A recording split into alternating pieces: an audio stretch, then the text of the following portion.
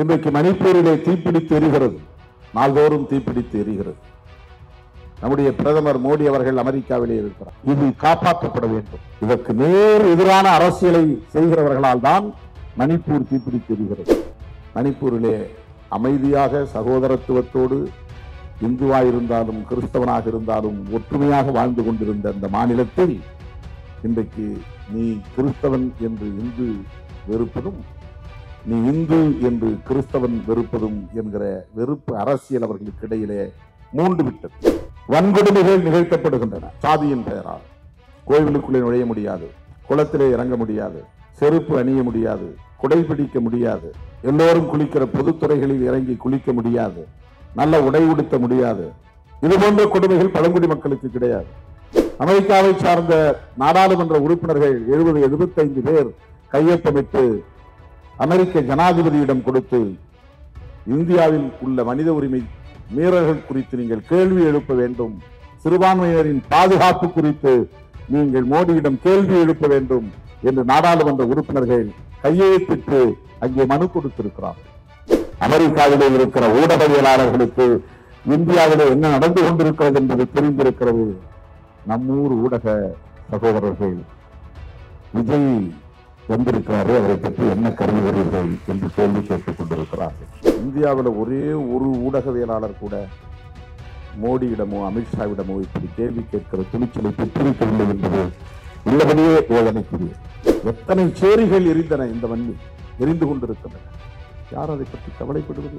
அது ஒரு பொருட்டா ஒரு நியூஸா ஒரு இஷ்யூவா யாரும் பார்க்கறது அவ்வளவு மோசமாக இங்கே பொது உளவியல் கட்டமைக்கப்பட்டிருக்கிறது. வாயில மலத்தை திணிச்சு அவன் இன்னும் உயிரோடு இருக்கிறானான்னு கேட்கிறான். என்ன பொருள்? ஏன்டா அவனை என்ன நீங்க போட்டு பண்ணலையா? அதான் கேள்வி. அவன் இன்னும் உயிரோடு நடமாடிட்டு இருக்கிறானா? அது என்னையும் பார்த்து கேட்ட கேள்வி. அவனை ஏன் உயிரோடு விட்டுட்டு இருக்கிற? வாயில ஒருத்தன் மலத்தை திணிக்கிறானா? அப்படிப்பட்ட ஒரு அநாகரிக பேர் வழியை எப்படி நீங்கள் இன்னும் உயிரோடு விட்டுக் கொண்டிருக்கிறீர்கள்? அடங்க மறு. அத்தி நீரு. திருமணி எடு. திருப்பி அடி. செக்யூலர் இதுதான் வந்து சனாதன சக்திகளை அச்சுறுத்தக்கூடிய சொல். அவர்களை மிரட்டுகிற சொல் பயமுறுத்துகிற சொல் லாஜிக் இஸ் கரெக்ட் ஆனால் உலகத்தில் இருக்கிற எல்லா மதங்களிலும் சகோதரத்துவம் இருக்கிறது. இந்து மதத்தில் சகோதரத்துவம் இருக்கிறதா? பார்ப்பனர்கள் தங்களின் நலன்களுக்காக பார்ப்பனர்களே உருவாக்கி கொண்ட ஒரு பார்ப்பன சங்கம் தான் பிராமணர் சங்கம் தான் ஆர் எஸ் எஸ் நீயும் நானும் இந்த கோட் சீட்டோடு இங்கே நிற்பதற்கு காரணம். இதுதான். இந்த கோட்பாடுதான். சமூக நீதி கோட்பாடுதான். இதற்கு நேர் எதிரானவர்கள் சனாதன சக்தி இந்த பாசிசம் ஜனநாயகத்திற்கு எதிரானது பாசிசம் என்று சொன்னேன். அது உலகம் தழுவிய சொல்லாடல். இந்தியாவை பொறுத்தவரையில் பாசிசம் என்பது வேறொன்றுமில்லை சனாதனம் என்பதுதான். அரசமைப்பு சட்டத்தின் இந்த முகப்புரை இருக்கிறதே இதுதான் இன்றைக்கு சனாதன சக்திகளை அச்சுறுத்திக் கொண்டிருக்கிறது. ஈராயிரம் ஆண்டுகளாக இங்கே இறுகி கிடக்கிற கெட்டித்தட்டி கிடக்கிற சாதிய சமூக கட்டமைப்பை தகர்த்து கொண்டிருக்கிறது. அந்த வலிமை இந்த வரிகளில் தான் இந்த சொற்களில் தான் அடங்கி இருக்கிறது ஆகவே இந்த விழாவில் நீங்கள் என்ன சாதித்திருக்கிறீர்கள் என்று கூட்டி கழித்து பார்த்தால் எனக்கு கோட் சூட்டு எடுத்து கொடுத்ததை விட எனக்கு பொற்காசுகள் தருவதை விட வந்து சிறப்பித்திருக்கிற சிறப்பு விருந்தினர்களுக்கும் எனக்கும் சேர்த்து இந்த பிரியாண்டில் அந்த கான்ஸ்டிடியூஷன் என்கிற அரசமைப்பு சட்டத்தின் முகப்புரையை வழங்கியிருக்கிறீர்களே அதுதான் சிறப்புக்குரியது பெருமைக்குரியது. இதை தொடர்ந்து நீங்கள் செய்ய வேண்டும் என்பதற்காகத்தான் இவ்வளவு அழுத்தம் கொடுத்து நான் இதை பேசுகிறேன். மிக பெரும் ஆபத்து இந்த அரசமைப்பு சட்டத்திற்கு. இன்றைக்கு மணிப்பூரிலே தீப்பிடித்து எரிகிறது. அந்த மண்ணின் மைந்தர்கள் பூர்வீக குடிகள் நல்லிணக்கத்தோடு வாழ்ந்து கொண்டிருந்தார்கள். அவரவர் விரும்பிய மதத்தை பின்பற்றிக் கொண்டிருந்தார்கள். இது தனிமனித சுதந்திரம். யாரும் எந்த மதத்திலும் இருக்கலாம். யாரும் எந்த கடவுளையும் ஏற்றுக்கொள்ளலாம் யாரும் எந்த வழிபாட்டு தலத்திலும் வழிபாடு செய்யலாம். அவரவருக்கான நம்பிக்கை அது கடவுள் நம்பிக்கை இல்லாமலும் வாழலாம். எனக்கு மதம் வேண்டாம் கடவுள் வேண்டாம் எனக்கு வழிபாடு தேவையில்லை இவையெல்லாம் இல்லாமல் கூட என்னால் நூறாண்டுகள் வாழ முடியும் என்று வாழ்கிறவர்களும் அவருக்கான சுதந்திரம் அது. அவரவருக்கான சுதந்திரம். ஆனால் இந்த மதத்தை இந்த மதத்தின் மீதான நம்பிக்கையை சிலர் ஒரு குறிப்பிட்ட குழுவை சார்ந்தவர்கள் தங்களுடைய அரசியல் ஆதாயங்களுக்காக பயன்படுத்திக் கொள்ள முனைகிறார்கள். அதன் அடிப்படையில் முரண்பாடுகளை கூர்மைப்படுத்துகிறார்கள். அதன் அடிப்படையில் மோதலை தூண்டுகிறார்கள். வன்முறை விரியாட்டத்தை கட்டவிழ்த்து விடுகிறார்கள் என்பதுதான் வேதனையிலும் வேதனை. அதுதான் இன்றைக்கு மணிப்பூரிலே நிகழ்ந்து கொண்டிருக்கிறது. ஒரு குட்டி மாநிலம் சென்னை அளவு கூட இருக்காது. மணிப்பூர் மாநிலம். சென்னையில் உள்ள மக்கள் தொகையை விடவும் அது குறைவாகத்தான் இருக்கும் என்று கருதுகிறேன். அது ஒரு மாநிலம் வடகிழக்கு மாநிலம் என்று அழைக்கப்படக்கூடிய சின்ன சின்ன மாநிலங்கள். பழங்குடி மக்கள் பெரும்பான்மையாக வசிக்கக்கூடிய மாநிலங்கள். மணிப்பூரில் மெய்த்தி என்று ஒரு சமூக பிரிவினர் இருக்கிறார்கள். அவர்களும் பழங்குடியினர் தான். குக்கி என்று ஒரு சமூக பிரிவினர் இருக்கிறார்கள். அவர்களும் பழங்குடியினர் தான். இதுபோல பல பழங்குடி சமூகத்தை சார்ந்தவர்கள் இருக்கிறார்கள். தலித்துகளுக்கும் பழங்குடி மக்களுக்கும் என்ன வேறுபாடு? பழங்குடி என்றால் பழைய குடியை சார்ந்தவர்கள் ஆதி காலத்தை சார்ந்தவர்கள் என்றுதான் பொருள். பழங்குடி என்பது ஒரு பொதுவான பெயர் தான் ஆங்கிலத்திலே ட்ரைப்ஸ் தமிழிலே பழங்குடி என்கிறோம். பழமையான குடிப்பெருமை உள்ளவர்கள் பாரம்பரியம் உள்ளவர்கள் என்று பொருள். ஏன் தலித்துகளை பழங்குடி என்று சொல்லுவதில்லை? இவர்களை ஷெட்யூல் காஸ்ட் என்று சொல்லுகிறார்கள் அவர்களை ஷெட்யூல் ட்ரைப்ஸ் என்று சொல்லுகிறார்கள். ட்ரைப்ஸ் காஸ்ட் இல்லை. ட்ரைப்ஸ் என்பது காஸ்ட் இல்லை சாதி இல்லை. அங்கே தீண்டாமை கிடையாது. சாதி அடிப்படையிலான பாகுபாடு கிடையாது. அவர்கள் ஆதிகாலத்திலிருந்து அந்த மண்ணின் மைந்தர்களாக வாழ்ந்து வருபவர்கள். அந்த மண்ணுக்கே உரியவர்கள். அந்த மண்ணை பண்படுத்தியவர்கள் மேம்படுத்தியவர்கள். இயற்கையோடு இயைந்து வாழக்கூடியவர்கள். இயற்கைக்கு எதிராக செயல்பட மாட்டார்கள். மண்ணும் மலையும் அவர்களுக்கு உறவை போன்றது குடும்ப உறவை போன்றது. அந்த மக்களிடையே அன்டச்சபிலிட்டி என்பது கிடையாது. யாரும் நான் மேல் சாதி என்று போய் அவர்களை தாழ்மைப்படுத்த முடியாது.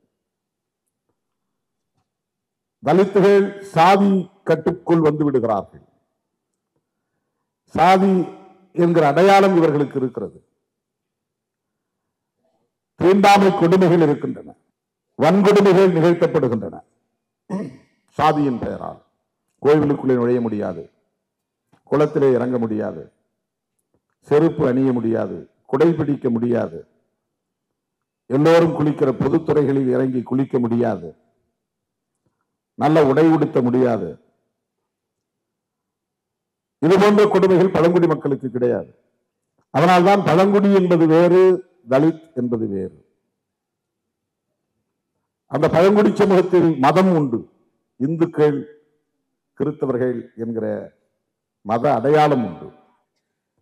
இந்த மத அடையாளத்தை பயன்படுத்தி சிறுபான்மை சமூகத்தினருக்கு எதிரான வெறுப்பு அரசியலை இந்தியா முழுவதும் விதைத்ததன் விளைவாக மணிப்பூரிலே அமைதியாக சகோதரத்துவத்தோடு இந்துவாக இருந்தாலும் கிறிஸ்தவனாக இருந்தாலும் ஒற்றுமையாக வாழ்ந்து கொண்டிருந்த அந்த மாநிலத்தில் இன்றைக்கு நீ கிறிஸ்தவன் என்று இந்து வெறுப்பதும் நீ இந்து என்று கிறிஸ்தவன் வெறுப்பதும் என்கிற வெறுப்பு அரசியல் அவர்களுக்கு இடையிலே மூண்டு விட்டது அவர்களின் குடியிருப்புகளை அப்புறப்படுத்துகிறார்கள். எங்களையும் பழங்குடி சமூகமாக அரசு அங்கீகரிக்க வேண்டும் என்று மேய்த்தி மக்கள் கோரிக்கை விடுக்கிறார்கள்.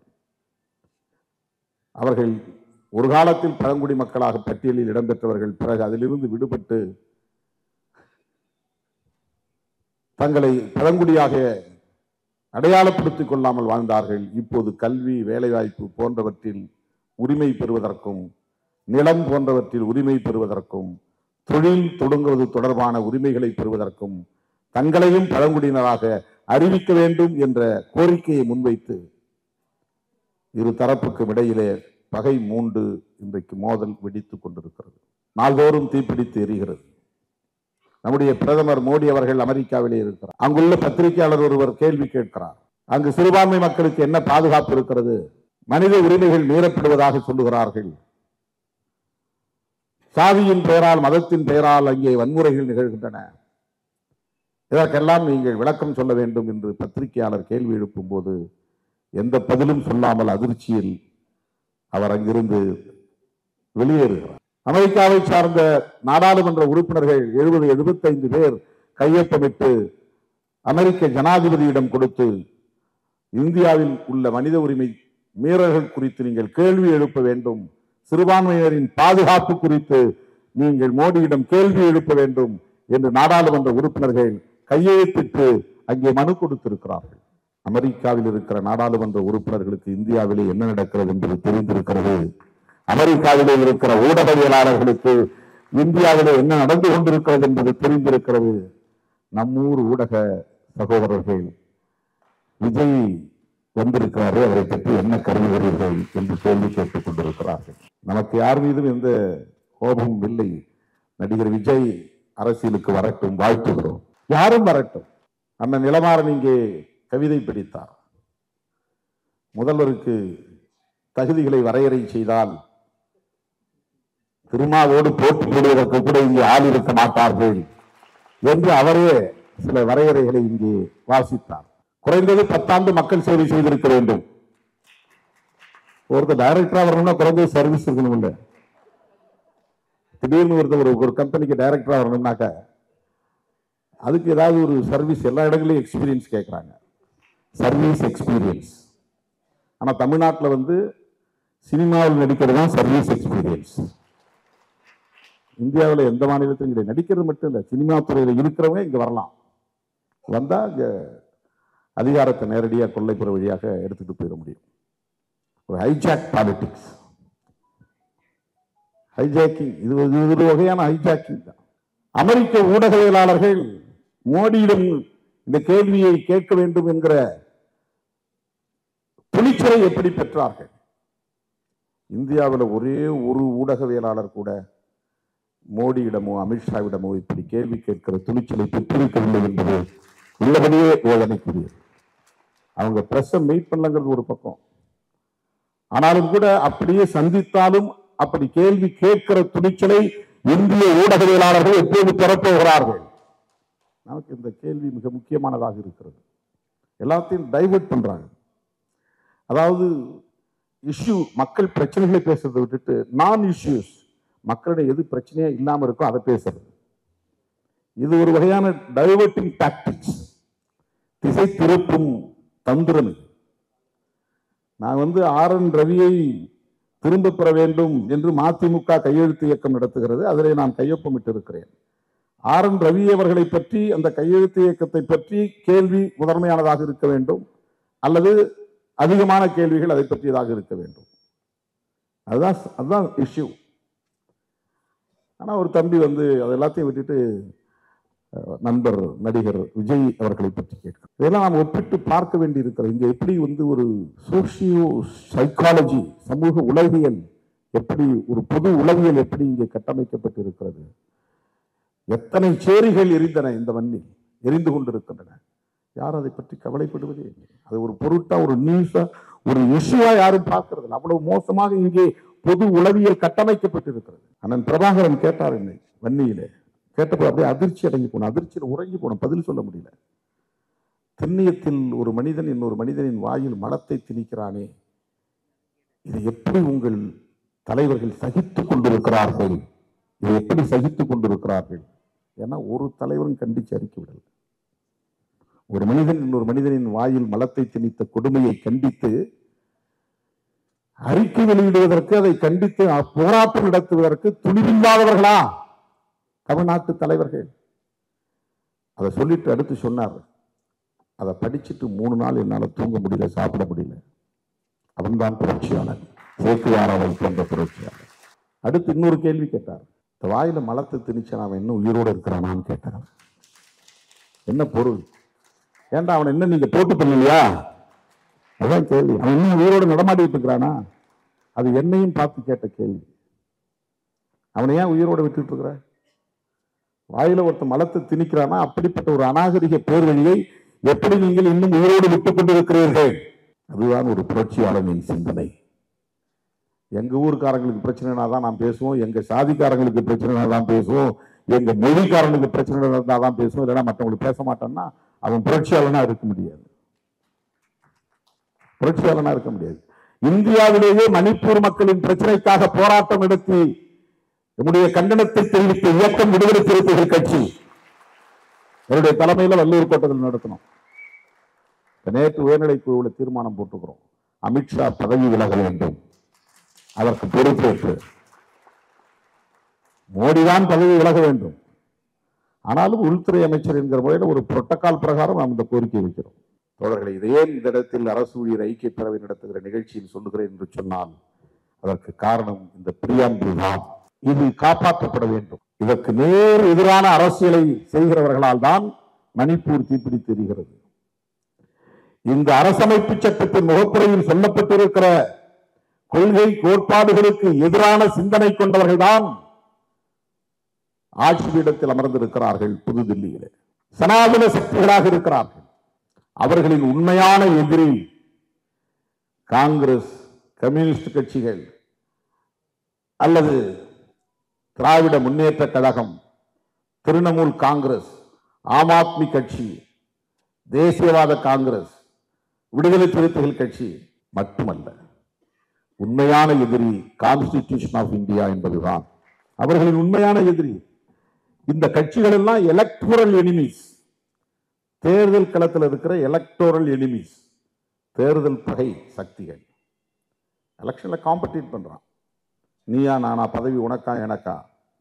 எம்எல்ஏ உனக்கா எனக்கா? எம்பி உனக்கா எனக்கா? மந்திரி உனக்கா எனக்கா? பிரதமர் உனக்கா எனக்கா? என்ற காம்படிட்டாஸ் ஆனால் அவர்களின் கொள்கை எதிரி புரட்சியாளர் அம்பேத்கர் வகுப்பளித்திருக்கிற அரசமைப்பு சட்டம் கான்ஸ்டிடியூஷன் ஆஃப் இந்தியா அதுதான் நீதியை பேசுகிறது சுதந்திரத்தை பேசுகிறது சமத்துவத்தை பேசுகிறது சகோதரத்துவத்தை பேசுகிறது. இந்த நான்கும் அவர்களுக்கு பிடிக்காது. இப்படி அண்ணன் மாயவன் எனக்கு நான்கு வார்த்தைகள் தமிழிலே பிடிக்கும் என்று சொன்னார். அடங்க மறு அத்தி நீரு திருவி எடு திருப்பி அடி. இது ஒடுக்கப்பட்ட சமூகத்திற்கு உலகளாவிய அளவில் முன்வைக்கப்பட்டிருக்கிற ஒரு புரட்சிகர முழக்கம் இது. இது ஒரு தலித் சமூகத்திற்கு மட்டுமல்ல ஒரு இயக்கத்திற்கு மட்டுமல்ல. எங்கெல்லாம் அடக்குமுறைகளும் ஒடுக்குமுறைகளும் இருக்கின்றனவோ ஆதிக்கம் சுரண்டல் இருக்கின்றனவோ அங்கெல்லாம் அந்த ஒடுக்குமுறைக்கு உள்ளாகக்கூடிய சமூக பிரிவினருக்கு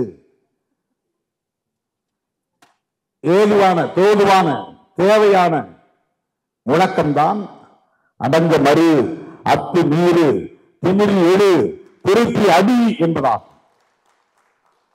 இன்றைக்கு இந்தியாவின் மீட்சிக்கு புதிய இந்தியாவின் கட்டமைப்புக்கு தேவையான நான்கு மந்திர சொற்கள். நீதி சுதந்திரம் சமத்துவம் சகோதரத்துவம். Justice liberty equality and fraternity இதுதான் நாம் வந்து படிக்க வேண்டியது படித்து உணர வேண்டியது. இதைத்தான் மக்களிடத்திலே நாம் கொண்டு போய் சேர்க்க வேண்டியது.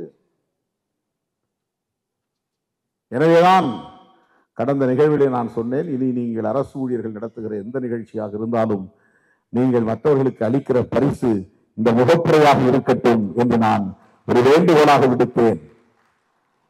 அதனை இன்றைக்கு நீங்கள் நடைமுறைப்படுத்தி காட்டியிருக்கிறீர்கள் என்பதுதான் எனக்கு மகிழ்ச்சி அளிக்கிறது தோழர்களே. புரட்சியாளர் அம்பேத்கர் எழுதிய இந்த preamble of the constitution we the people of India இந்தியாவை சார்ந்த மக்களாகிய நாங்கள் having solemnly resolved to constitute India நாங்கள் ஒருமித்த கருத்தின் அடிப்படையில் ஒரு தீர்மானத்தை மேற்கொண்டிருக்கிறோம். இந்தியாவை கட்டமைப்பதற்கு constitute India constitute a committee ஒரு கமிட்டியை உருவாக்குறதுக்கு பேர் கான்ஸ்டிடியூட் சொல்லுவாங்க. கான்ஸ்டிடியூட் அப்படின்னா புத்தம் புதிதாக அஸ்திவாரத்திலிருந்து கட்டமைப்பது. கட்டிடத்தை இடிச்சிட்டு அது மேலே கட்டுறதுக்கு பேர் பில்டிங் பில்ட் பில்டிங் அதை கட்டுறது.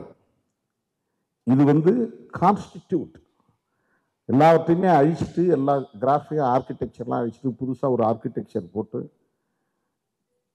ஸ்கெட்ச் போட்டு ப்ளூ பிரிண்ட் போட்டு அதுக்கப்புறம் கட்டிடத்தை மேலே எழுப்புறது.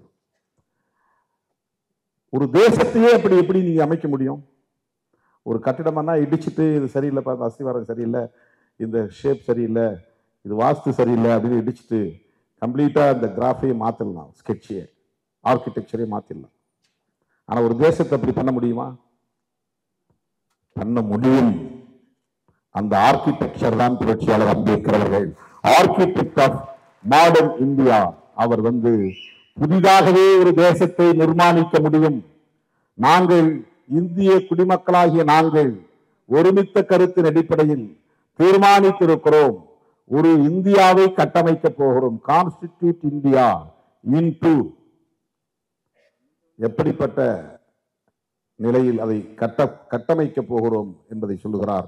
Into a sovereign socialist secular democratic republic இங்கே ஒரு அரசை நிறுவுவதன் மூலம்.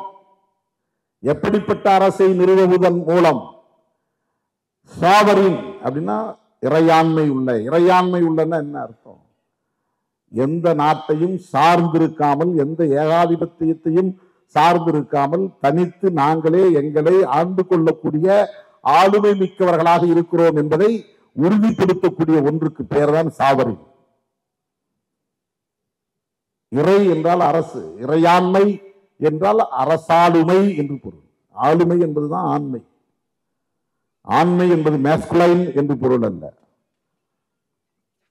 ஆண்மை என்பது மேஸ்குலைன் என்கிற ஜெண்டரை குறிக்கிற சொல் அல்ல. பர்சனாலிட்டி ரூலிங் கெப்பாசிட்டி அதுதான் ஆளுமை. அரசுக்கு ஒரு ஆளுமை அரசாளுமை. அரசாண்மை என்பதுதான் இறையாண்மை என்று அழைக்கப்படுகிறது தமிழில். இறை என்றால் அரசு இறைவன் என்றால் அரசன் என்று பொருள். இறை என்பது அல்டிமேட் அர்த்தம். அதுக்கு மேல யாரும் இல்லைன்னு அர்த்தம். இறுதி அப்படின்னு சொல்றோம்ல. இறுதின்னா என்ன? கடைசின்னு அர்த்தம். இறைன்னா கடைசி. இறைவன்னா கடைசி ஆள் அவன் தான் அவனுக்கு மேல யாரும் கிடையாது. சுப்ரீம் கிடையாது. அவன் தான் இறைவன்.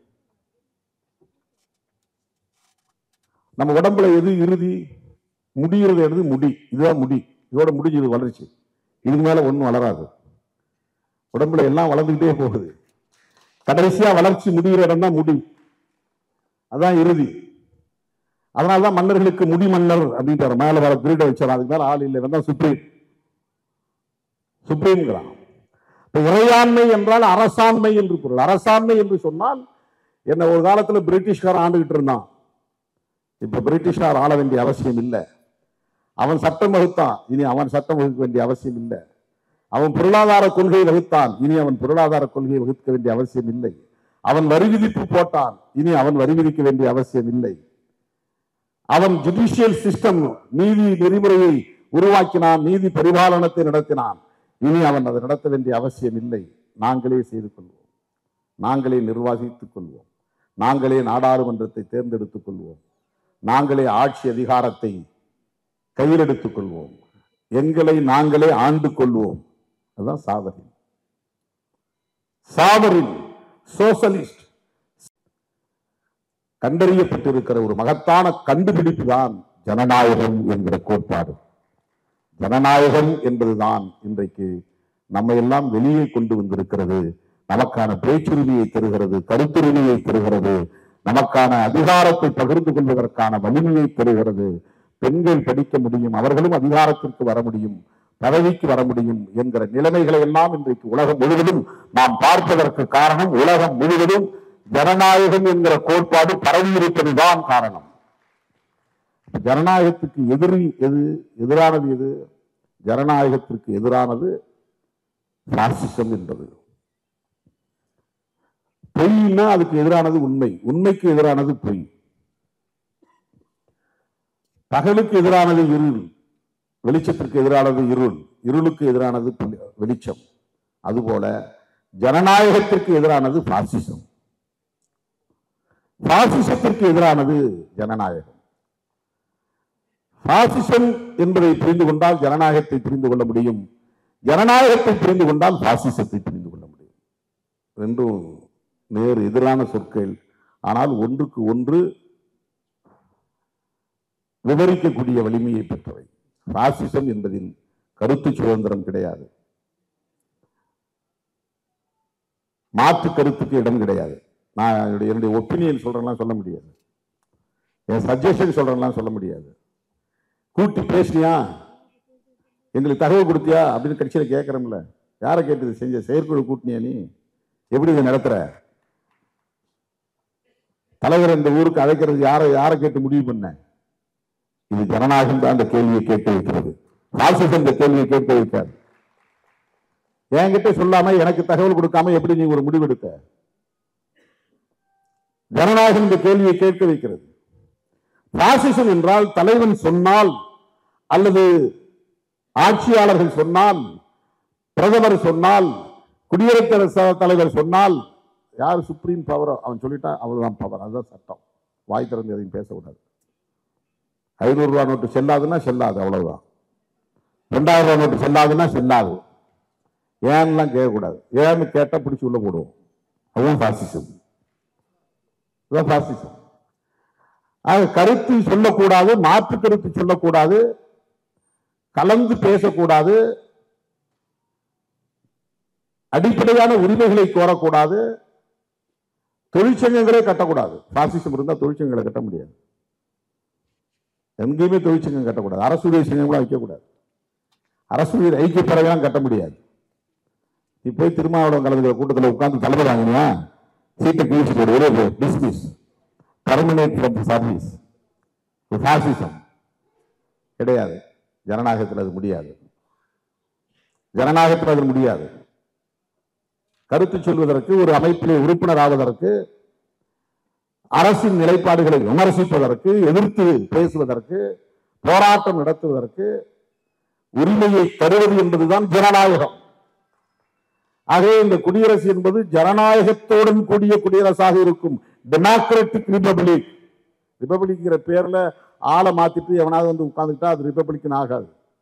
மன்னராட்சி பயிற்சி அதுக்கு பதிலாக நான் ஒருத்தர் வந்து உட்காந்துக்கிறேன் இனிமேல் நான் சொல்கிறதான் சட்டம். எவனா வந்து ஒத்து வலிமையில் உட்காந்துட்டோம்னாக்க மக்கள் சாதாரண மக்கள் உழைக்க ஓடிக்கிட்டு இருப்பாங்க. அவனுக்கும் அரசுக்கும் சம்பந்தம் கிடையாது.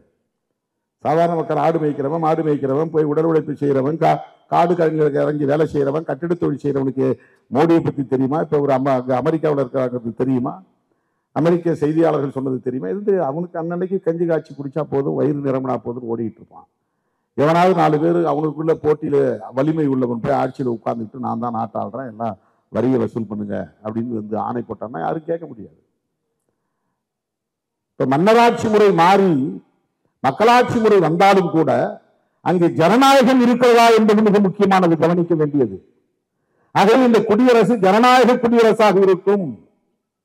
அதை விட மிக முக்கியமானது உலகத்திலேயே எந்த நாட்டிலும் கடைபிடிக்காதது அல்லது அரசமைப்பு சட்டத்திலே குறிப்பிடப்படாதது இந்தியாவின் அரசமைப்பு சட்டத்திலே குறிப்பிடப்பட்டிருக்கிறது. அதுதான் செக்யூலர் டெமோக்ராட்டிக் ரிபப்ளிக் செக்யூலர் இதுதான் வந்து சனாதன சக்திகளை அச்சுறுத்தக்கூடிய சொல். அவர்களை மிரட்டுகிற சொல் பயமுறுத்துகிற சொல். செக்யூலர் என்றால் அரசாங்கம் மதசார்பற்று இரு- மதசா மதம் சார்ந்து இருக்கக்கூடாது. தனிநபர் இருக்கலாம் மோடி இந்துவாக இருக்கலாம் அமித்ஷா இந்துவாக இருக்கலாம் பிரச்சனை கிடையாது. தனிநபர் எந்த மதத்தை சார்ந்து இருக்கலாம். குடியரசுத் தலைவராக இருக்கிற திரௌபதி முர்மு இந்துவாக இருக்கலாம். அல்லது மதம் மாறலாம் பௌத்தத்துக்கு மாறலாம். காங்கிரஸ் கட்சியினுடைய அகில இந்திய தலைவர் மல்லிகார்ஜுன் கார்கே ஒரு புத்திஸ்ட். அவர் ஒரு பௌத்தர். அவர் இந்து அல்ல. எத்தனையோ தலைவர்கள் வெவ்வேறு மதங்களில் இருக்கிறார்கள் ஒரே கட்சிக்குள் இருக்கிறார்கள். தனி நபர்கள் எந்த மதத்தையும் சார்ந்திருக்கலாம். ஆனால் நாம் வெள்ளைக்காரன் போன பிறகு இந்தியாவிலே உருவாக்கப் போகிற இந்த புதிய அரசு மதசார்பற்ற அரசாக இருக்கும். We the people of India India. having solemnly resolved to constitute India into a sovereign socialist secular democratic republic. இதுதான் ரொம்ப முக்கியமானது. இந்த செக்யூலர் சோஷலிஸ்ட் ரெண்டு வார்த்தையும் அம்பேத்கர் முதல் முறையில் டிராஃப்ட் பண்ணி கொடுத்தப்போ இது அரங்கேற்றம் செய்தப்போ கிடையாது இதில். கான்ஸ்டிடியூஷனில் கிடையாது. ஆனால் கான்ஸ்டிடியூஷன் செக்யூலர் கான்ஸ்டிடியூஷன் ஏன்னா ஒரு அரசாங்கத்துக்கு ஸ்டேட் ரிலீஜன் எது அப்படின்னு அறிவிக்கலைங்க மற்ற நாடுகள் அறிவிச்சது. அதுதான் இப்போ இன்னைக்கு ஆர்எஸ்எஸ் காரங்களுக்கு பெரிய லாஜிக்கான கொஸ்டின் இலங்கை வந்து பௌத்த நாடு தானே அவனுக்கு ஸ்டேட் ரிலீஜன் புத்திசமாக இருக்குல்ல? சைனா வந்து ஒரு புத்திஸ்ட் கண்ட்ரி தானே? அவனுக்கு ஸ்டேட் ரிலீஜன் ரிலீஜன் புத்திசமாக தானே இருக்கு? பாகிஸ்தான் பக்கத்தில் இருக்கிற நாடு இந்தியாவிலிருந்து பிரிந்த நாடு அந்த நாட்டினுடைய அரசமைப்பு சட்டம் அங்கே ஸ்டேட் ரிலீஜன் எது என்று அரச மதம் எது என்று அறிவிப்பு செய்திருக்கிறதே அரசமைப்பு சட்டத்திலேயே சொல்லியிருக்கிறதே. முஸ்லீம் இஸ்லாம் மதம் அரச மதம். அங்கே அரசு மதம் சார்ந்து இருக்கிறது. உலகத்தில் எல்லா நாடுகளும் அரசுகள் மதம் சார்ந்த அரசுகளாக இருக்கிறது. ஏன் இந்தியாவில் இந்து மதம் சார்ந்த இந்த அரசு உருவாகக்கூடாது என்ற கேள்வியை எழுப்புகிறார்கள். லாஜிக் இஸ் கரெக்ட் ஆனால் உலகத்தில் இருக்கிற எல்லா மதங்களிலும் சகோதரத்துவம் இருக்கிறது. இந்து மதத்தில் சகோதரத்துவம் இருக்கிறதா? சகோதரத்துவம் இல்லாத ஒரு மதம் அரச மதமாக இருந்தால் இந்த தேசம் என்னவாகும்? இந்த கவலை புரட்சியாளர் அம்பேத்கருக்கு இருந்தது. இந்த கவலை புரட்சியாளர் அம்பேத்கருக்கு மட்டுமில்லை தோழர்களே அவருடைய சமகாலத்து தலைவர்கள் அறிவார்ந்த தலைவர்கள் முற்போக்கான தலைவர்களாக இருந்த காரணத்தினால் அம்பேத்கரின் இந்த கருத்து எல்லோராலும் ஏற்றுக்கொள்ளப்பட்டு அரசமைப்பு சட்டத்திலும் அது உள்வாங்கப்பட்டது. அதுதான் ரொம்ப முக்கியம். அம்பேத்கர் மட்டும் அப்படி இருந்தால் நடந்திருக்காரு அம்பேத்கரிடம் இருந்த அந்த செக்யூலர் சென்ஸ் அரசு மதம் சார்ந்து இருக்கக்கூடாது என்ற சிந்தனை அன்றைய பிரதமர் பண்டிட் ஜவஹர்லால் நேரு அவர்களிடம் இருந்தது என்றுதான் நமக்கு கிடைத்த நல்வாய்ப்பு பெருவாய்ப்பு. அவர் வந்து ஒரு பிற்போக்கு சக்தியாக இருந்திருந்தால் அவர் ஒரு சனாதன சக்தியாக இருந்திருந்தால் அவர் முற்போக்கான சிந்தனை இல்லாதவராக இருந்திருந்தால் ரொம்ப சிரமம். இப்படி ஒரு கான்ஸ்டிடியூஷனை உருவாக்கி இருக்க முடியாது. அதை விட முக்கியமாக நான் அண்மை காலமாக எல்லா மேடைகளிலும் சொல்லி வருகிற ஒரு உண்மை அதை விட முக்கியமாக புரட்சியாளர் அம்பேத்கரிடம் இருந்த அதே சிந்தனை பண்டிதர் ஜவஹர்லால் நேரு அவர்களிடம் இருந்தது என்பது எவ்வளவு ஒரு பெரு வாய்ப்பாக நல்வாய்ப்பாக நமக்கு அமைந்ததோ அதை விட மிக முக்கியமாக ஜவஹர்லால் நேரு அவர்களாலேயே தேச தந்தை என்று ஏற்றுக்கொள்ளப்பட்ட மகாத்மா என்று போற்றப்பட்ட காந்தியடிகளிடமும் இருந்தது என்பதுதான். அரும்பெரும் வாய்ப்பு. ஏன்னா ஜவஹர்லால் நேரு தன்னை ஒரு நாத்திகர் என்றே பிரகடனப்படுத்திக் கொண்டார். கடவுள் நம்பிக்கை இல்லாதவர் என்று தன்னை அறிமுகப்படுத்திக் கொண்டவர் ஜவஹர்லால் நேரு. ஆம் ஆன் agnostic பர்சன் என்று சொல்லியிருக்கிறார். அக்னாஸ்டிக் என்றால் கடவுள் நம்பிக்கை இல்லாத ஒருவன் என்று பொருள். எனக்கு கடவுள் மீது நம்பிக்கை இல்லை அதனால் மதத்தின் மீது நம்பிக்கை இல்லை. இதை சொன்னவர் ஜவஹர்லால் நேரு அவர்கள். ரேடிக்கல் திங்கர் ஒரு முற்போக்கான சிந்தனையாளர். அவரிடத்திலே இந்த சிந்தனை இருந்தது என்பது சரிதான். ஆனால் மத நம்பிக்கையும் இருந்து கடவுள் நம்பிக்கையும் இருந்து எல்லாவற்றையும் விட சனாதனத்தின் மீதும் நம்பிக்கை கொண்டவராக இருந்தவர் காந்தியடிகள். அவர் வந்து மூச்சுக்கு முன்னூறு முறை ஹரே ராம் ஹரே ராம் என்று ராமபக்தராக வாழ்ந்தவர் நாத்துராம் கோட்சே துப்பாக்கியால் சுட்ட போதும் மிக அருகில் இருந்து அவன் துப்பாக்கியால் சுட்ட போதும் அவருடைய இதயத்தை அந்த ரவைகள் துப்பாக்கி ரவைகள் துளைத்த போதும் ரத்தம் அப்படியே தெரித்து சிதறிய போதும் அந்த இடத்தில் துப்பாக்கியால் சுட்டவனை அவர் பிடியுங்கள் அவனை கொல்லுங்கள் என்று கத்தவில்லை. ஹரே ராம் ஹரே ராம் ஹரே ராம் என்று சொல்லித்தான் இந்த மண்ணில் சரிந்தார். அந்த அளவுக்கு ராம பக்தராக வாழ்ந்தவர் காந்தியடிகள். நாப்ராம் கோட்சேவை பிரியுங்கள் என்று கத்தவில்லை. ஐயோ அம்மா என்னை கொன்று விட்டானே என்று கதறவில்லை. உயிர் பயம் அவருக்கு அந்த இடத்தில் வரவில்லை. அப்படி உயிர் பிரிய போகிறது மண்ணில் சரிந்து வீழப் போகிறோம். இதுதான் நமது கடைசி நொடி என்ற நிலையிலும் கூட ஹரேராம் என்று சொல்லிக்கொண்டே மண்ணில் விழுந்தவர்தான் காந்தியடிகள். அவரிடத்திலே நாம் போற்றுதலுக்குரிய ஒரு சிந்தனையாக பார்ப்பது இந்த அரசு மதசார்புள்ள அரசாக இருக்கக்கூடாது. மதசார்பற்ற அரசாகத்தான் இருக்க வேண்டும் என்கிற சிந்தனை. அவர் மட்டும் ஜவஹர்லால் நேரு இடத்துல இல்லை இது வந்து state religion Hindu religion declare பண்ணுங்கன்னு சொல்லியிருந்தால் நேரு என்ன பண்ணியிருக்க முடியும்? காந்தியடிகளை எதிர்க்கிற துணிச்சல் எனக்கு யாருக்கும் கிடையாது அம்பேத்கரை தவிர. இந்தியாவிலே அன்றைக்கு காந்தியடிகளுக்கு எதிராக கருத்து சொல்லுகிற துணிச்சல் பெற்ற சமகாலத்து தலைவர்கள் யாரும் இல்லை உலகமே காந்தியை ஓஹோ என்று புகழ்ந்து கொண்டிருந்த நேரம் புகழின் உச்சத்தில் இருந்த நேரம். ஃபாதர் ஆஃப் நேஷன் என்று தேச தந்தை என்று எல்லோரும் போற்றிக் கொண்டிருந்த நேரம். மகாத்மா அப்படின்னா மாமனிதர். மகான்னா பெரிய ஆத்மான்னா மனுஷன். மகா ஆத்மான்னா பெரிய மனுஷன். பெருமாள் அப்படின்னா கூட அதான் அர்த்தம். பெருமாள்னா பெரிய மனுஷன் அர்த்தம். பெரியார் என்றாலும் பெரிய மனிதன் தான் அர்த்தம். அதைத்தான் தமிழில் மாமனிதர் என்று சொல்லுகிறோம். பெரிய ஆள் அப்படிங்கிறது தான் பெரியார் என்று மாறுகிறது. பெரிய ஆள் என்பதுதான் பெருமாள் என்று மாறுகிறது. பெருமாள் என்றாலும் பெரியார் என்றாலும் மாமனிதர் என்றாலும் மகாத்மா என்றுதான் பெரும். வடமொழியில மகாத்மா. தமிழ்ல பெரியார். அப்படி போற்றப்பட்ட காந்தியடிகள் ஒரு விஷயத்தில் ரொம்ப உறுதியாக இருந்தார். நாம் புதுசாக உருவாக்க போகிற இந்த அரசு நாம் புதுசாக உருவாக்க போகிற இந்த தேசம் மதசார்பற்ற அரசாகவும் மதசார்பற்ற தேசமாகவும் இருக்க வேண்டும். ஏன் அவர் அப்படி நினைச்சார் நமக்கு தெரியல. அதனால்தான் அவர் சுட்டுக் கொல்லப்பட்டார். இந்த கருத்தில் அவர் பிடி பிடிவாதமாக இருந்ததனால் பிடிப்போடு இருந்ததனால் தான் பார்ப்பனர்களின் சங்கமாக உருவானதுதான் ஆர்எஸ்எஸ். இன்னைக்கு அவனுக்கு வந்தது தேசிய இயக்கம் இந்துக்களின் இயக்கம் என்று சொல்லுகிறார்கள். அப்பட்டமான பொய் அது பார்ப்பனர்கள் தங்களின் நலன்களுக்காக பார்ப்பனர்களே உருவாக்கி கொண்ட ஒரு பார்ப்பன சங்கம் தான் பிராமணர் சங்கம் தான் ஆர்எஸ்எஸ்.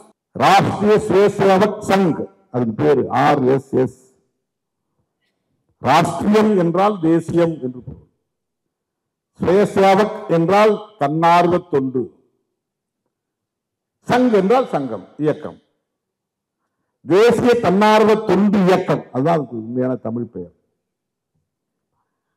ஆனால் அது பார்ப்பனர்களால் உருவாக்கப்பட்டது பார்ப்பனர்களுக்காக உருவாக்கப்பட்டது பார்ப்பனர்களின் கொள்கை கோட்பாடுகளுக்காக உருவாக்கப்பட்டது பார்ப்பனர்களை கட்டி காப்பாற்றிக் கொண்டிருக்கிற இந்து சமூக சாதிய சமூக வர்ணாசிரம சமூக கட்டமைப்பை பாதுகாக்க வேண்டும் என்பதற்காக உருவாக்கப்பட்டது. அந்த சங்கத்தை சார்ந்த தொடக்கத்தில் இந்து மகா சபாவில் இருந்த நாத்துராம் கோட்ஸே சாவர்கரின் மாணவனாக தன்னை வரித்து கொண்டு சாவர்கரோடு பேசி பேசி அந்த உணர்வை உள்வாங்கிக் கொண்டு இங்கே இந்துக்களுக்கு என்று ஒரு தேசத்தை உருவாக்க வேண்டும்.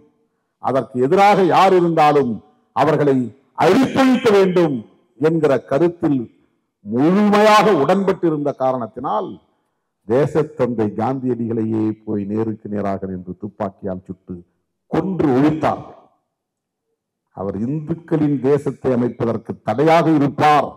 அதற்காக கொல்லப்பட்டார். இந்து ராஷ்டிரா என்கிற கனவுக்கு அவர் எதிராக இருப்பார். அந்த கனவு நிறைவேற விடாமல் தடுப்பார் என்பதற்காக கொல்லப்பட்டவர். இன்றைக்கு தேசம் முழுவதும் பேசப்பட வேண்டிய செய்தி இதுதான்.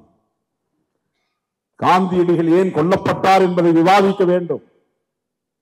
யாரால் கொல்லப்பட்டார்கள் என்பதை விவாதிக்க வேண்டும். இந்துக்களும் இஸ்லாமியர்களும் ஒற்றுமையாக வாழ வேண்டும். சமூக நல்லிணக்கம் வேண்டும் மத நல்லிணக்கம் வேண்டும். மதசார்பற்ற அரசு உருவாக வேண்டும். மதசார்பற்ற தேசமாக இது இருக்க வேண்டும். இதையெல்லாம் காந்தியடிகளுக்கு உடன்பாடு இருந்தது. அவர் தீவிரமான இந்துத்துவ பற்றாளராக இருந்தாலும் கூட ராம பக்தராக இருந்தாலும் கூட வைணவ பக்தராக இருந்தாலும் கூட வர்ணாசிரம நம்பிக்கை உள்ளவராக இருந்தாலும் கூட சாதி இருக்கட்டும் தீண்டாமை ஒழியட்டும் என்று சொன்னவர் காந்தியடிகளுக்கும் அம்பேத்கருக்கும் அதில்தான் முரண்பாடு ஏற்பட்டது. சாதி இருந்தால் தீண்டாமை இருக்கும். சாதியை வச்சுக்கிட்டு எப்படி தீண்டாமை ஒழிக்க முடியும்? தீண்டாமை ஒழிப்பு என்பது ஒரு ஹம்பக் அது ஒரு ஏமாற்று வித்தை ஒரு மோசடி என்று காந்தியடிகளோடு நேரடியாக முரண்பட்டவர் புரட்சியாளர் அம்பேத்கர் அவர்கள். ஆனால் புரட்சியாளர் அம்பேத்கரும் காந்தியடிகளும் ஒரு புள்ளியில் ஒன்றி போகிறார்கள் உடன்பட்டு போகிறார்கள் ஒருங்கிணைந்து நிற்கிறார்கள். அதுதான் செக்யூலர் அதுதான் செக்யூலரிசம் நம்முடைய கான்ஸ்டிடியூஷன்ல புரட்சியாளர் அம்பேத்கர் அவர்கள் எவ்வளவு பெரிய பாதுகாப்பை உருவாக்கி இருக்கிறார் என்பதை எண்ணி பாருங்கள் தோழர்களே. இந்த அரசு ஒரு மதசார்பற்ற அரசாக இருக்க வேண்டும். அதை ஜவஹர்லால் நேருடைய மகள் இந்திரா காந்தி அம்மையார் ஆட்சி பீடத்தில் அமர்ந்திருந்த போது நமக்கு உடன்பாடு இல்லாத ஒரு சட்டத்தை கருப்பு சட்டத்தை கொண்டு வந்தார் என்றாலும் கூட அந்த சட்டத்தை நடைமுறைப்படுத்திய காலத்தில் maintenance of internal security act என்கிற MISA M I S A அதுதான் அந்த சட்டம். இன்றைக்கு ஊஃபா என்று சட்டம் இருப்பதைப் போல போட்டா என்கிற சட்டம் இருந்ததைப் போல தட்டா என்கிற சட்டம் இருந்ததைப் போல இந்திரா காந்தி அம்மையார் ஆட்சி காலத்திலே மிசா என்ற ஒரு சட்டம் வந்தது. அந்த சட்டத்தின் அடிப்படையிலே பல திருத்தங்களை நிர்வாகத்தில் கொண்டு வந்தார். அதிலே மிக முக்கியமானது அரசமைப்பு சட்டத்திலே முகப்புறையிலே திருத்தம் கொண்டு வந்து மூன்று சொற்களை இணைத்தார். ஒன்று socialist secular socialist secular integrity இந்த மூணு வார்த்தையும் கடைசியாக அதில் இணைக்கப்பெற்றது ஆயிரத்தி தொள்ளாயிரத்தி எழுபத்தி ஆறு மிசா காலத்தில் இந்திரா காந்தி அம்மையார் காலத்தில். ஜவஹர்லால் நேருவின் பிள்ளை இந்திரா காந்தியும் ஒரு முற்போக்கான சிந்தனையாளராக இருந்ததனால் புரட்சியாளர் அம்பேத்கர் கனவை நனவாக்கக்கூடிய வகையில் அவர் வகுத்தளித்த அரசமைப்பு சட்டத்தின் முகப்புறையிலே திருத்தம் கொண்டு வந்து அதை மீண்டும் உறுதிப்படுத்தியவர் இந்திரா காந்தி அம்மையார். Sovereign socialist secular democratic republic. அந்த சாவரின் டெமோக்ராட்டிக் ரிபப்ளிக்கின் மூன்று சொற்கள் இருந்த இடத்துல சோசலிஸ்ட் செக்யூலர் என்று இரண்டு சொற்களை இடைச்செருகளாக திணித்து அதை ஐந்து சொற்களாக ஆக்கியவர் இந்திரா காந்தி அம்மையார் தோழர்களே அப்படி ஒரு அரசை நாங்கள் உருவாக்க தீர்மானித்திருக்கிறோம். And to secure to all its citizens இந்த தேசத்தின் குடிமக்கள் அனைவரையும் பாதுகாப்பதற்காகவும் நாங்கள் இந்த அரசை அமைக்கிறோம். ஜஸ்டிஸ் லிபர்ட்டி ஈக்குவாலிட்டி ஃப்ரெட்டர்னிட்டி இந்த நாலு முக்கியமான தாரக மந்திரங்கள். ஜஸ்டிஸ் நீதி. Social justice economic justice and political justice மூன்றா வகைப்படுத்துகிறார் அம்பேத்கர். சமூக நீதி பொருளாதார நீதி அரசியல் நீதி. அதுல அவர் முதன்மைப்படுத்துவது சமூக நீதி. ஏன்னா அங்க சமூகம் ஏற்றத்தாழ்வோடு இருக்கிறது. இந்த ஏற்றத்தாழ்வுள்ள சமூகத்தை சமன்படுத்த வேண்டிய தேவை இருக்கிறது என்கிற சமூக நீதி என்கிற கருத்தியலை இந்த அரசமைப்பின் முகப்புறையிலே பதிவு செய்தவர் புரட்சியாளர் அம்பேத்கர் அவர்கள் அதுதான் இன்றைக்கு இந்தியா முழுவதும் மிகப்பெரிய தாக்கத்தை ஏற்படுத்தி கொண்டிருக்கிறது. நீயும் நானும் இந்த கோட் சீட்டோடு இங்கே நிற்பதற்கு காரணம் இதுதான். இந்த கோட்பாடுதான் சமூக நீதி கோட்பாடுதான். இதற்கு நேர் எதிரானவர்கள் சனாதன சக்திகள். இந்த பாசிசம் ஜனநாயகத்திற்கு எதிரானது பாசிசம் என்று சொன்னேன். அது உலகம் தழுவிய சொல்லாடல். இந்தியாவை பொறுத்தவரையில் பாசிசம் என்பது வேறொன்றும் இல்லை சனாதனம் என்பதுதான். சனாதானம் இல்லை சனாதனம் சனாதன் அதான் வந்து ஆங்கிலத்தில் அவன் சொல்கிற வார்த்தை. சனாதன் அதான் நம்ம தமிழ் படுத்தும் போது சனாதனம் அப்படின்னு இன்னும் சேர்த்து சனாதன். அப்படின்னா என்ன அர்த்தம்னா நேரடியான பொருள் என்ன பொருள்னா நிலையானது மாறாதது தொடக்கம் இல்லாதது முடிவில்லாதது அழிவில்லாதது அப்படின்னு அர்த்தம். ஆங்கிலத்தில் தி எட்டர்னல் அப்படின்னு இங்கிலீஷில் போடுறாங்க பொருள். சனாதன் அப்படிங்கிறதுக்கு என்ன பொருள்னா தி எட்டர்னல் தி எட்டர்னல்னா என்ன அர்த்தம்னா இது எங்கே மு- எங்கே தொடங்கிச்சு எங்கே முடிஞ்சதுன்னு சொல்ல முடியாது. அதுக்கு பேர். ஒரு இயக்கம் வந்து எப்போ தோன்றுச்சுன்னு சொல்ல முடியும் ஒரு மதம் எப்போ தோன்றுச்சுன்னு சொல்ல முடியும் யார் தோற்றுவித்தார்னு சொல்ல முடியும். ஆனால் சில கருத்துக்கள் எப்போ தோன்றியது அது எப்போ முடியும் அதை சொல்ல முடியாது. உலகம் எங்கே தோன்றியது அதற்கு ஏதாவது முடிவு இருக்கா? இப்போ இந்த கட்டிடம் இந்த இடத்துல தொடங்கி இந்த இடத்துல முடியுதுன்னு ஒரு முடிவு இருக்குது பிரபஞ்சத்தில் உலகம் எப்படி தோன்றுச்சு? பூமிக்கு சுற்றி பூமியை சுற்றி இருக்கக்கூடிய பிரபஞ்சத்தின் தொடக்கம் எது முடிவு எதுன்னு சொல்ல முடியாது. தொடக்கம் எது முடிவு எதுன்னு சொல்ல முடியாததுக்கு பேர் தி எட்டர்னல் இது அழிஞ்சு போயிடும் ஒரு பொருள் அழிஞ்சு போயிடும் நாம் சொல்றோம். எந்த பொருளுமே அழியாது. இயற்கையில எந்த பொருளுமே அழியாது. ஒன்று இன்னொன்றா மாறிக்கொண்டே இருக்கும். அது ஆற்றலாகவே இருக்கும். அதுதான் சயின்ஸ் அதுதான் சயின்ஸ் ஒன்று இன்னொன்றாக மாறிக்கொண்டே இருக்கும். வேறொரு ஆற்றலாக மாறுமே தவிர அது அழிந்து போகாது. அதனாலதான் ஆற்றல் அழிவதில்லைன்னு கண்டுபிடிச்சான்.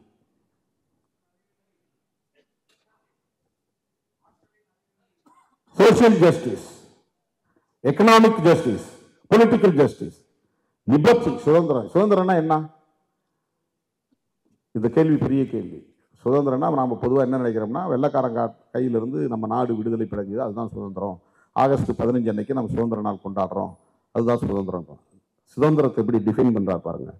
லிபர்ட்டி ஆஃப் தாட் சிந்திக்கிற சுதந்திரம். எக்ஸ்பிரஷன் அதை வெளிப்படுத்துவதற்கான சுதந்திரம். பிலீஃப் ஃபெய்த் அண்ட் வர்ஷிப் கடவுள் என்னை காப்பாற்றுவார் என்பது பிலீஃப் என் நண்பன் என்னை காப்பாற்றுவான் என்பது ஃபெய்த் என்ன பிலீஃபுக்கும் ஃபெய்த்துக்கும் என்ன வித்தியாசம்? பிலீஃப்ங்கிறது வந்து ஒரு அருவமானது. எனக்கு கடவுள் இருக்கிறாரு நான் நம்புறேன் அது பிலீஃப். எங்கள் அம்மா இருக்கிறாங்க அப்படின்னு நான் நம்புறேன். அப்படின்னா இருக்கிறது இருக்கிறது உண்மை அது ஃபெய்த் என்னுடைய நண்பர் எனக்கு உதவி செய்வான் அப்படின்னு நான் நம்புறேன். கஷ்டத்தில் எனக்கு கை கொடுப்பான் என்று நம்புகிறேன். அது பிலீஃப் இல்லை அது ஃபெய்த்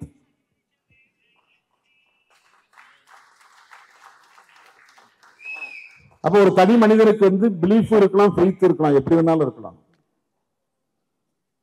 மதத்தின் மீது வைப்பது ஃபெய்த்து கடவுளின் மீது வைப்பது பிலீஃப் ஆர்எஸ்எஸ் மீது ஒரு இயக்கத்தின் மீது வைத்திருக்கிற நம்பிக்கைக்கு பேர் ஃபெய்த்து சிவபெருமான் மீது வைத்திருக்கிற நம்பிக்கைக்கு பேர் பிலீஃப் ரெண்டுக்கு வித்தியாசம் இருக்கு.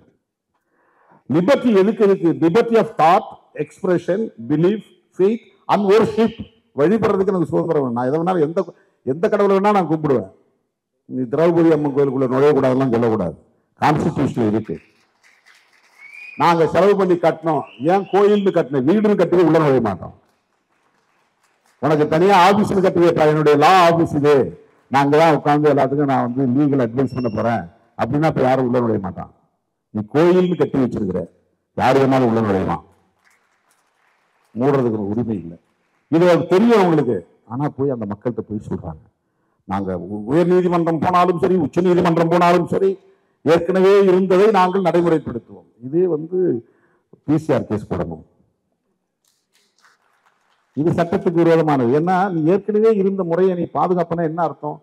கோயிலுக்குள்ள உள்ளே நுழைய விடாமல் தடுத்ததை மறுபடியும் தக்க வைப்போம். அதை அப்படியே சஸ்டெயின் பண்ணுவோம். அப்படின்னா என்ன அர்த்தம்? அவனை உள்ள விடமாட்டோம் தடுப்போம். அதுவும் வந்து சாதி அடிப்படையிலான குற்றம். ஒர்ஷிப்புக்கான சுதந்திரம். அம்பேத்கர் சுதந்திரத்தை இப்படி தான் டிஃபைன் பண்ணியிருக்கிறாரு. நம்ம இஷ்டப்படி ஒரு உடை உடுத்துகிறதுக்கு அல்லது இந்த இஷ்டப்படி நம்ம வந்து வாழ்க்கை முறையை மாற்றுகிறது அப்படிங்கிற அர்த்தத்தில் அவர் சொல்லலை.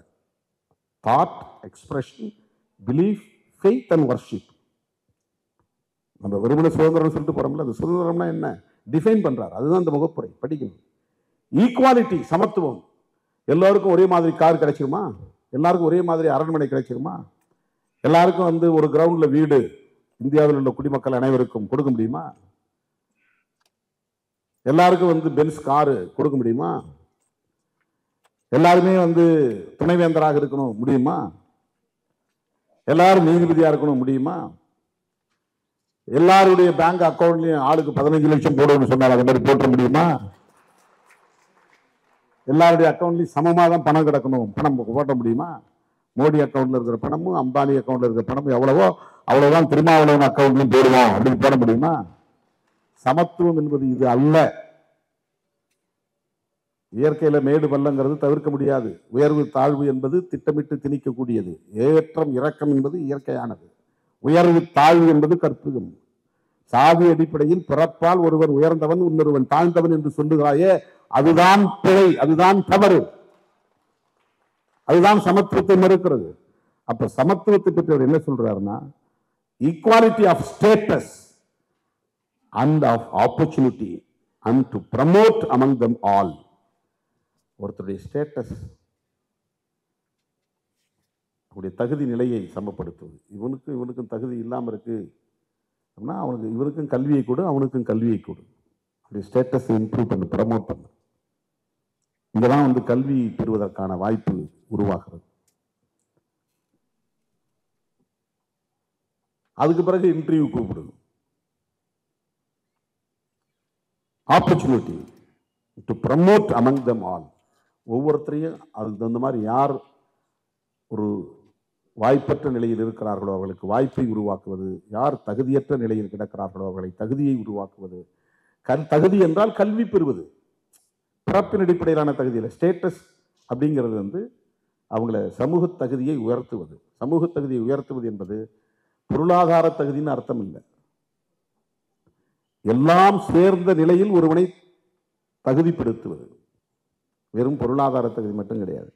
ஏன்னா இந்த தகுதி வந்து ஒரு தனி மனிதனுடைய பொருளாதார நிலையை அளவுகோலாக கொண்டு தீர்மானிக்கப்படுவதில்லை.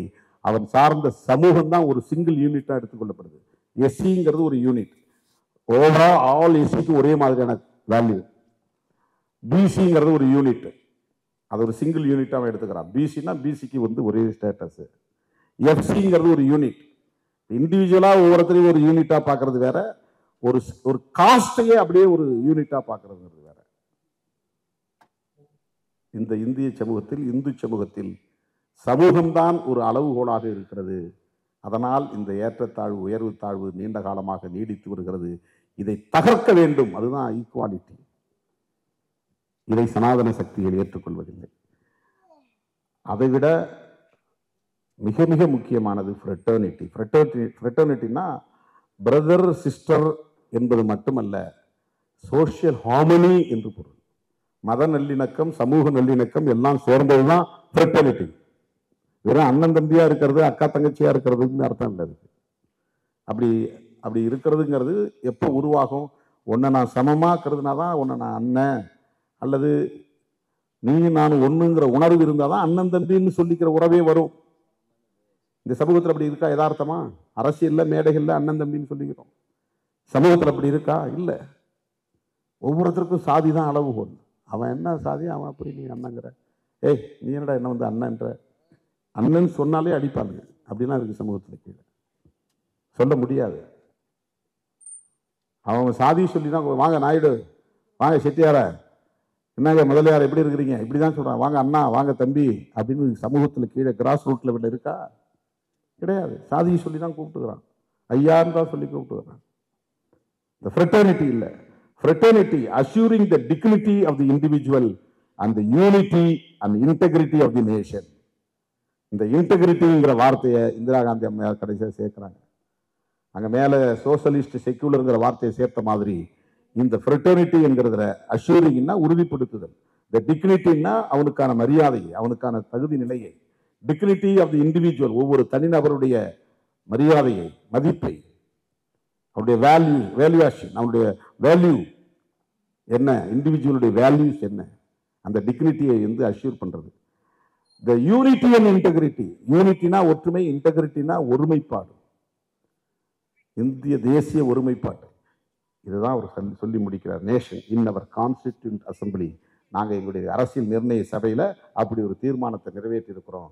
This twenty sixth day of November November மாதம் இருபத்தி ஆறாம் தேதி ஆயிரத்தி தொள்ளாயிரத்தி நாற்பத்தி ஒன்பதாவது வருஷம் அரசியல் நிர்ணய சபையில் ஒரு இந்திய அரசை புதிய அரசை மதசார்பற்ற அரசை உருவாகலாம் என்னுடைய ஆத்திரம் என்னை பின்பற்றினா கூட ஒருத்தர் வந்து அண்ணா நீ ஒரு வார்த்தை சொன்னா போதும் அமைச்சர் செஞ்சுருவாரும்பா. ஏய் என்னுடைய வேல்யூஸ் எனக்கு தெரியும். என்னுடைய வேல்யூ என்னன்னு எனக்கு தெரியும். இதை நான் சொன்னால் என்ன நடக்கும் இது நடக்காது. யாரையும் யார்கிட்டையும் ஏமாந்து போயிடாது எங்கேயும் காசு கீசு கொடுத்து ஏமாந்து போயிடாது. இதெல்லாம் டெம்பரரி வேலை. பத்து மாதம் தான் இருக்கும். போய் பாரு நான் சொல்கிறேன் போய் அமைச்சரை பாரு முடிஞ்சால் அவர் செய்வார் இல்லைன்னா செய்ய மாட்டார் போ.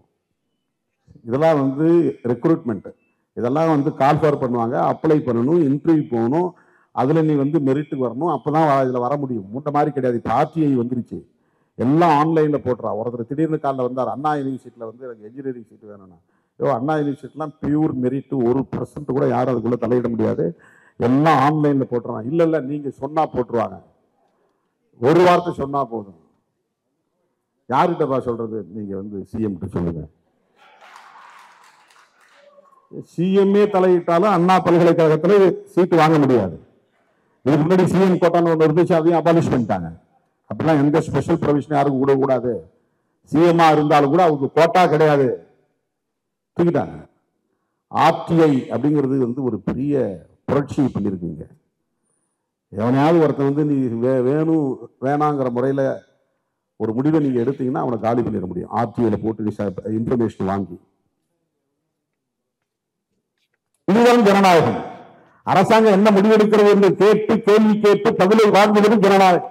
அதான் டெமோக்ரஸி ஜனநாயகத்தின் வேல்யூ எவ்வளவு முக்கியத்துவம் வாய்ந்தது என்பதை புரிந்து கொள்ள வேண்டும். தோழர்களே இதை இவ்வளவு தூரம் உங்களிடத்திலே நான் அழுத்தமாக பேசுவதற்கு காரணம் நாம் அப்படிப்பட்ட ஒரு நெருக்கடியில் நின்று கொண்டிருக்கிறோம். தனிப்பட்ட முறையிலே திருமாவளவன் அப்படியாக வேண்டும் இப்படியாக வேண்டும் என்றெல்லாம் நாம் நம்முடைய ஆசையை வெளிப்படுத்துகிறோம். நம்முடைய விருப்பத்தை வெளிப்படுத்துகிறோம். ஆனால் நாடு இருந்தால் தானே நாம் அப்படியாக முடியும். நாட்டை காப்பாற்றினால்தானே அந்த நிலைக்கு நாம் வர முடியும். நாடு இன்றைக்கு நாசகார சக்திகளின் கைகளில் சிக்கி கிடக்கிறது. மம்தா பானர்ஜி சொல்லியிருக்கிறாங்க பிஜேபி இப்போ ஜெயிச்சுட்டா இதுதான் கடைசி தேர்தல் அப்புறம் தேர்தலே வைக்க மாட்டாங்க. எதிர்க்கட்சி தலைவர்கள் உணர ஆரம்பித்து விட்டார்கள். யார் பிரதமர் என்பது முக்கியமில்லை. இந்த நாட்டை காப்பாற்றுவது முக்கியம். அரசமைப்பு சட்டத்தை காப்பாற்றுவது முக்கியம். நாங்க உட்கார்ந்து டைப் பண்ணிட்டு இருந்தேன். ட்விட்டர்ல போட்டிருந்தேன். பாட்னாவில் நடைபெற்ற அனைத்து எதிர்க்கட்சி தலைவர்களின் கூட்டத்தில் எடுக்கப்பட்ட முடிவை விடுதலை சிறுத்தைகள் கட்சி வரவேற்கிறது அப்படின்னு நான் ஆங்கிலத்தில் போட்டிருக்கேன். ஒருத்தன் உடனே பின்னால் வந்து ஒன்னதான் அந்த கூட்டத்தையே கூப்பிடலையே நீ எதுக்கு போய் சப்போர்ட் பண்ணுறேன்னு சொல்கிறான் அவனுடைய காழ்ப்புணர்ச்சி. என்னை கூப்பிட்டா என்ன கூப்பிடலன்னா என்ன நாடு காப்பாற்றப்பட வேண்டும். எனக்கு வந்து அங்கே இடம் கிடக்குங்கிறதெல்லாம் என்னுடைய போராட்டம். நான் ஆல் இந்தியா லீடர் காத்துக்கிறதுக்கு நான் போராடவில்லை. புரட்சியாளர் அம்பேத்கர் உருவாக்கிய அரசமைப்பு சட்டத்தை காப்பாற்ற வேண்டும் என்பதற்காகத்தான் விடுதலை சிறுத்தைகள் போராடுகிறோம். நான் பார்லிமெண்ட்டுக்கு போய் தான் குரல் கொடுக்கணும்னு அவசியம் கிடையாது. நான் ஆல் பார்ட்டி மீட்டிங்கில் கலந்துக்கிட்டு தான் குரல் கொடுக்கணுங்கிற அவசியம் கிடையாது.